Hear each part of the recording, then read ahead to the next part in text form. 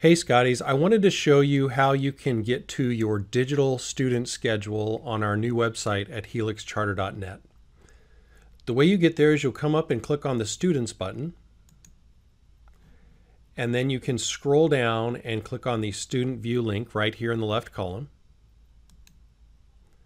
And then once you're here, you'll click on I am a student, and then here you're going to type in your student ID. You don't need your email address for your username here, just your ID.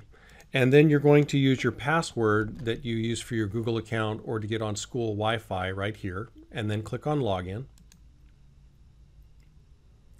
And there is your schedule. You'll see that you have your course titles here and your room numbers and names here.